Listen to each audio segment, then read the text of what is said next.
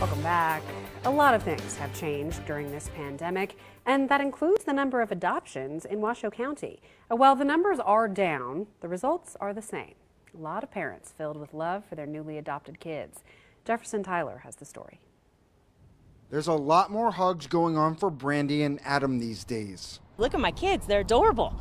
Uh, we got really fortunate. The couple adopted three kids aged four, five, and six. The family is protective of their last names, but not their situation. Adoption is one of the best things to happen to them. My boy is the most kind hearted young man you have ever met.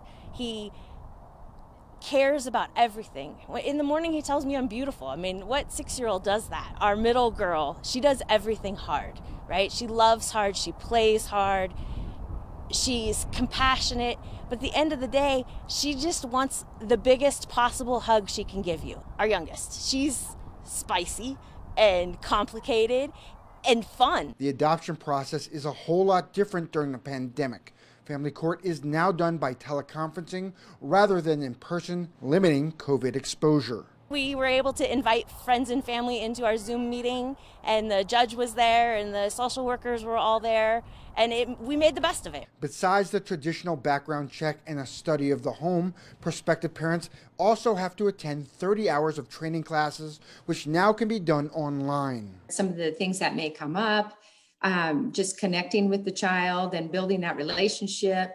There's um, training about trauma. Matching parents and kids has also changed.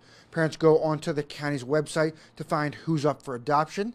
Outings are then arranged to see if the parents and kids click. If you think that you have room in your hearts, I promise you there are lots of little guys out there waiting for a mommy and daddy. Covering the story, Jefferson Tyler, 2 News.